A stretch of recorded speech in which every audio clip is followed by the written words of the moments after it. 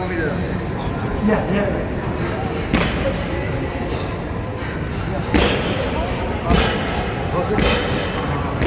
So anytime you mount somebody, you want to be in a high mount. If I'm on his hips and he bridges, bridge your hips, bridge, you lose balance, right? So I want to be high mount. So I'm going to go for a choke. When I do, his elbows come up to defend, right? I do that my knees. I'm high. This one, I want in line with his head here. Want to make sure that's there. So slide that up, hold, circle this one around, trap the arms. Dig under, stand. And on the mat, circle this around, catch the arm.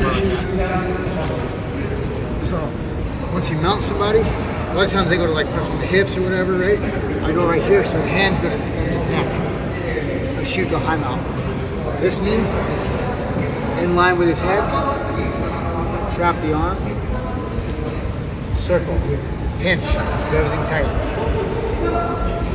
Force the arm out, into the mat, head forward, circle the leg around, extend your hips forward. So the motion is like this. Right.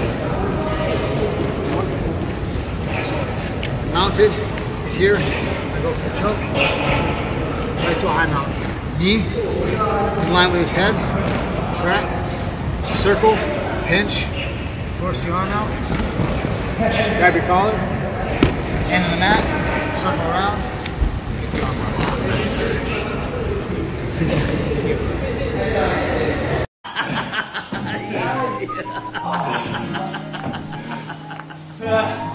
oh, você é o rapaz aí, mano.